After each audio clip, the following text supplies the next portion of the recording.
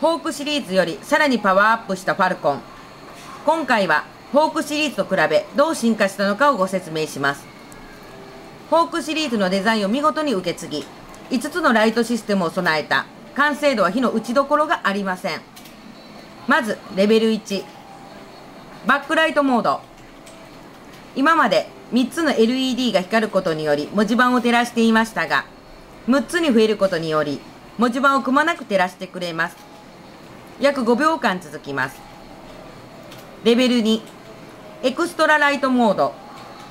ここが一番変更されていて前回まではオレンジ色のライトだったのに対し白色に変更されたことで暗闇でも色合いまではっきり確認できるほどになりました。直視できないほどの明るさが特徴です。約20秒間続きます。レベル3ボタンを押すとエクストラライトが点灯しライトの充電がなくなるまで点灯しっぱなしになります。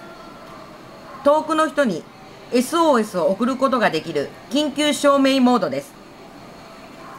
レベル4ボタンを押すとバックライトが常に点灯した状態で固定されライトの充電がなくなるまで光り続けます。レベル5もう一度